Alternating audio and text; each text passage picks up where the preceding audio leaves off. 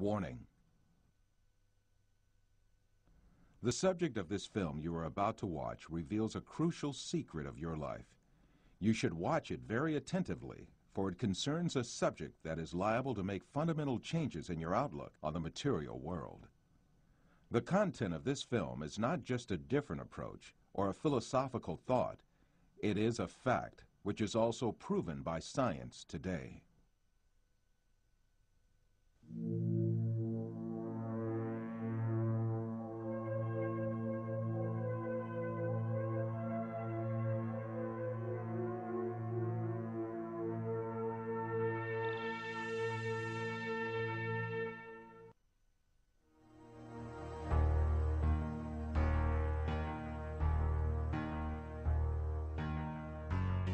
Man is conditioned right from the beginning of his life that the world he lives in has an absolute material reality. So he grows up under the effect of this conditioning and builds his entire life on this viewpoint. The findings of modern science, however, have revealed a completely different and significant reality than what is presumed.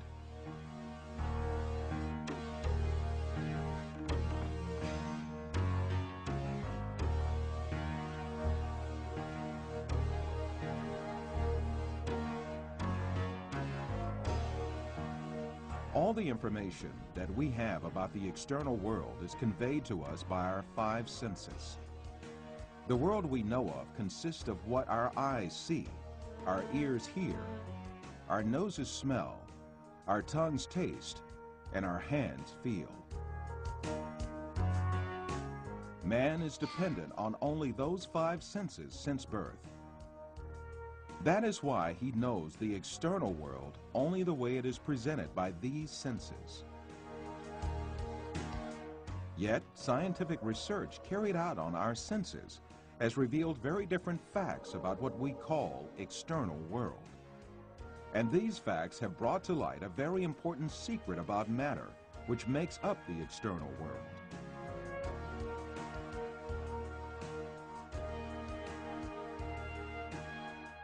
Contemporary thinker Frederick Vester explains the point that science has reached on this subject. Statements of some scientists posing that man is an image, everything experienced is temporary and deceptive, and this universe is a shadow, seems to be proven by science in our day. In order to better grasp this secret behind matter, let us be reminded of our information about our sense of sight which provides us with the most extensive information about the external world.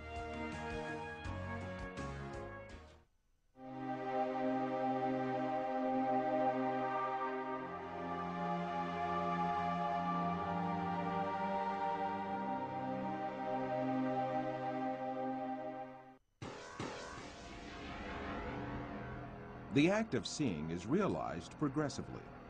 At the instance of seeing, light clusters called photons travel from the object to the eye and pass through the eye lens where they are refracted and focus on the retina at the back of the eye. Here, rays are turned into electrical signals and then transmitted by neurons to the center of vision at the back of the brain.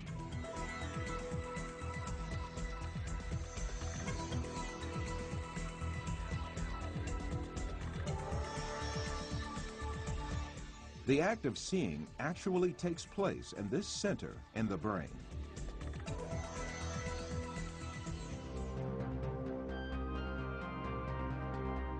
All the images we view in our lives and all the events we experience are actually experienced in this tiny and dark place. Both the film you are now watching and the boundless landscape you see when you gaze at the horizon actually fit into this place of a few cubic centimeters.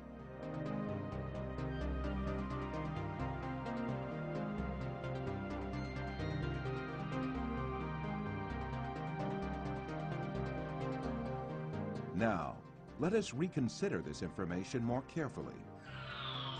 When we say we see, we actually see the effect the rays reaching our eyes form in our brain by being converted into electric signals. When we say we see, we actually observe the electrical signals in our brain. By the way, there is another point that has to be kept in mind. The brain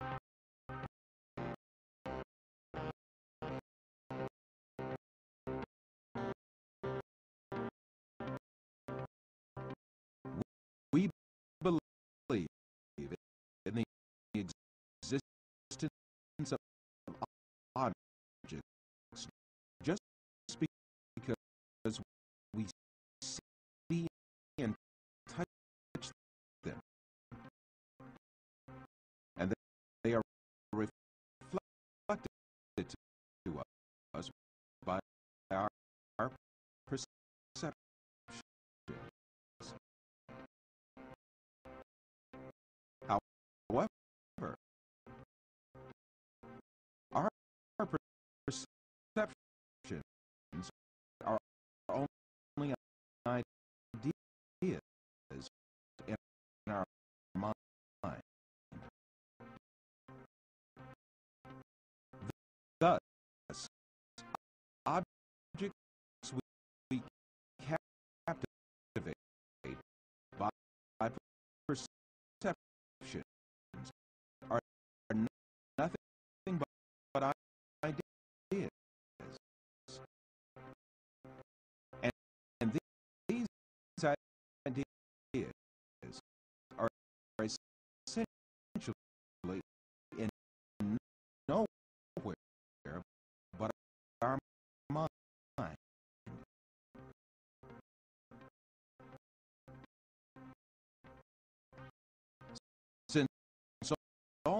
these exist only in the mind,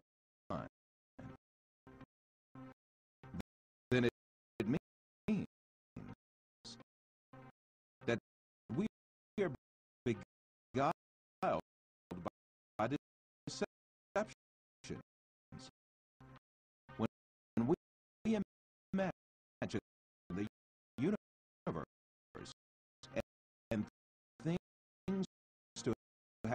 have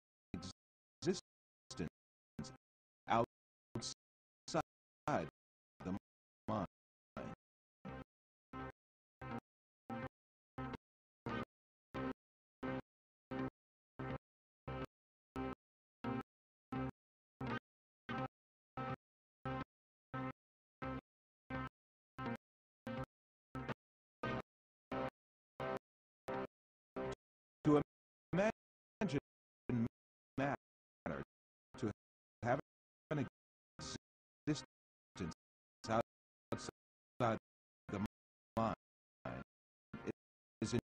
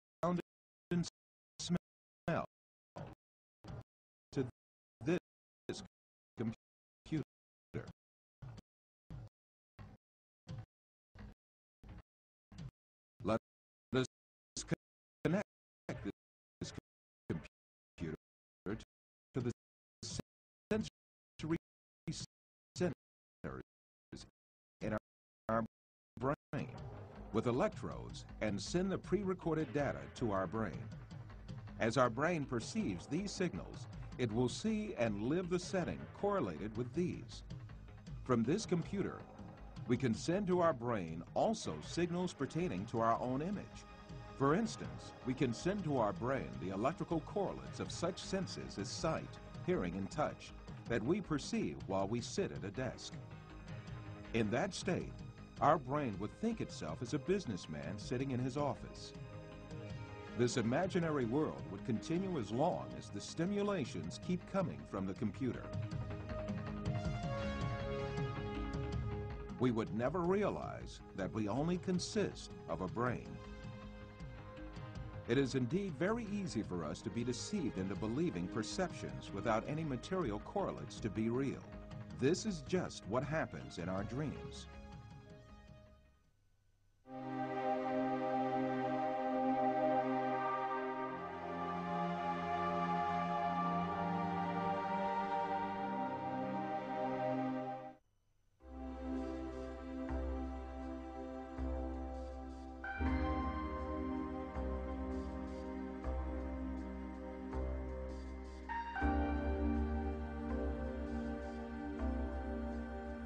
For you, reality is all that can be touched with the hand and seen with the eye.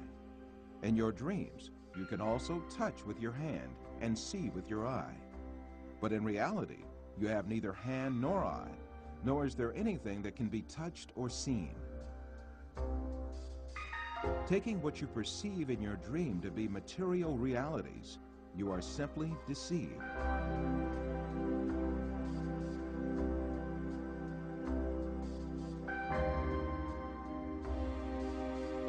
For example, a person deeply asleep in his bed may see himself in an entirely different world in his dream. He may dream that he is a pilot and command a giant aeroplane, and even spend a great effort to command the plane.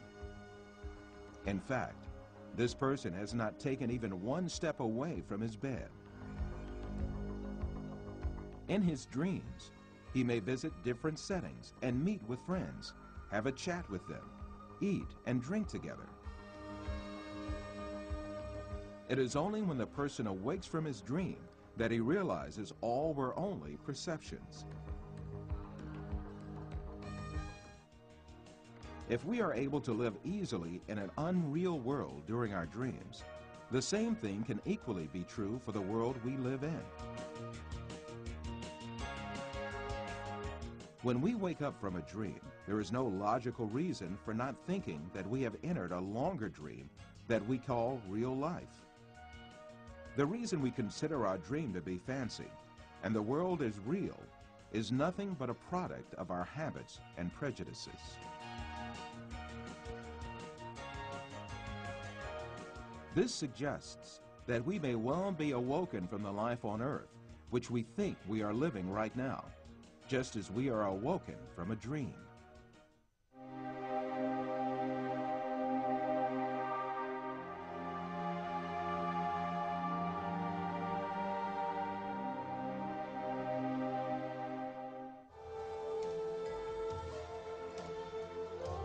After all these physical facts arises the question of primary importance. If all physical events that we know are intrinsically perceptions, what about our brain? Since our brain is a matter just like our arms, legs, or any other object, it also must be a perception just like all other objects. An example will illuminate the subject further. Let us think that we extend the nerves reaching our brain and put it outside our head, where we can see it with our eyes. In this case, we would be able to see also our brain and touch it with our fingers.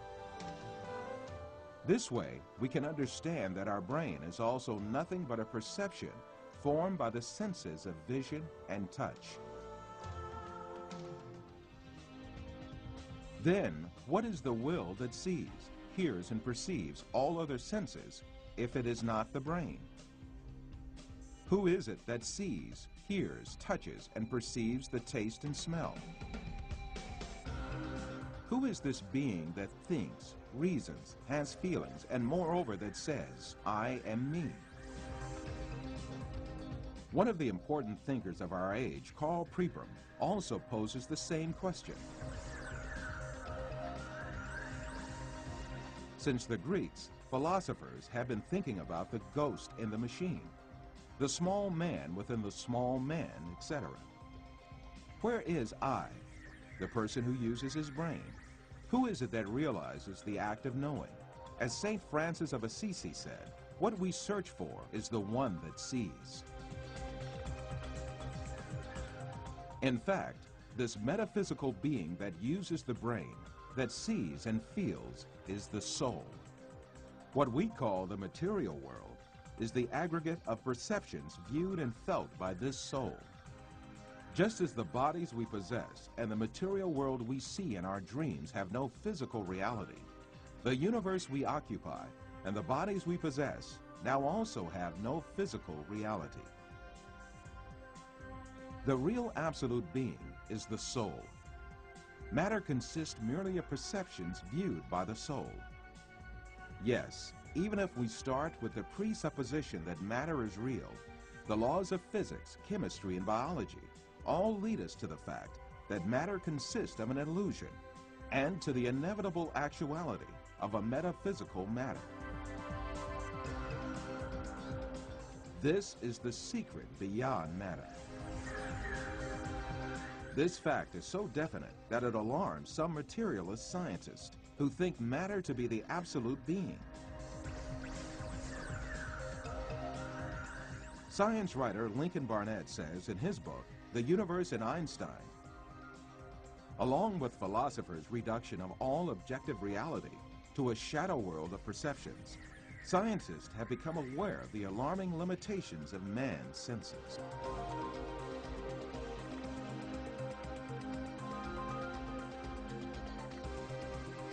All these facts bring us face to face with a very significant question. If the thing we acknowledge to be the material world is merely comprised of perceptions given to our soul, then what is the source of these perceptions? In answering this question, we must consider the fact that matter does not have a self-governing existence by itself, but is a perception. Therefore, this perception must have been caused by another power, which means that it must have been created. Moreover, this creation must be continuous. If there were not a continuous and consistent creation, then what we call matter would disappear and be lost. This may be likened to a television on which a picture is displayed as long as the signal continues to be broadcast. If the broadcast stops, the image on the screen will also disappear.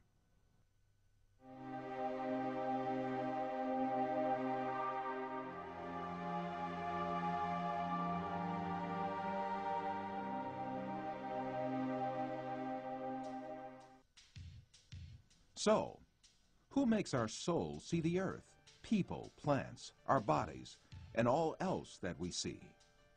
It is very evident that there is a superior creator who has created the entire material universe.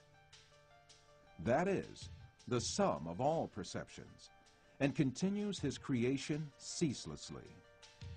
Since this creator displays such a magnificent creation, he surely has eternal power and might. All the perceptions he creates are dependent on his will, and he dominates everything he has created at any moment. This Creator is Allah, the Lord of the heavens and the earth. The only real absolute being is Allah. All things except Him are shadow beings He created. This reality is explained by the great Islamic scholar, Imam Rabbani, as follows.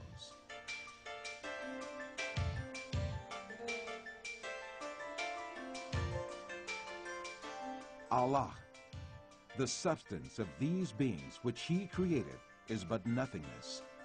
He created all in the sphere of senses and illusions.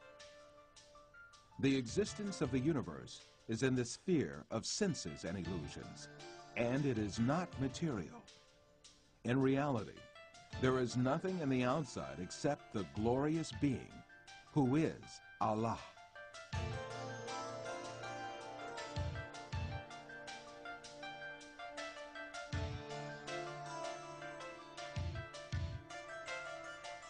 In all the four corners of this universe that is made up of perceptions is Allah's being as the only real being. Therefore, the closest being to man is Allah. This fact is explained in the Quran with the verse, We created man, and we are nearer to him than his jugular vein.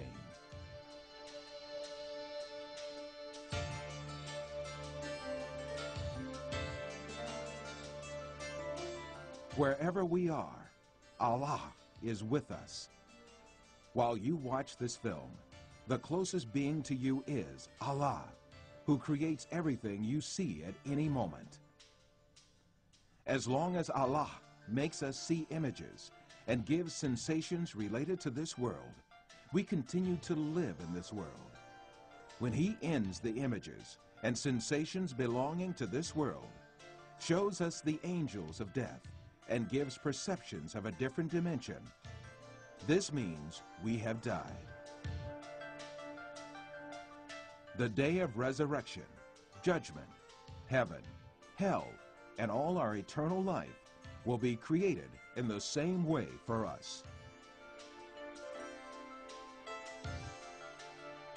To create all these is too easy for Allah, who displays the evidence of His eternal power and infinite knowledge to us, yet in this world.